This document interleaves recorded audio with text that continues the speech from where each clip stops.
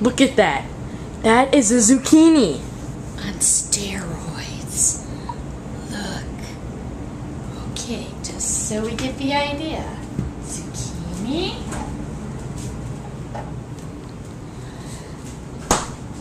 Egg.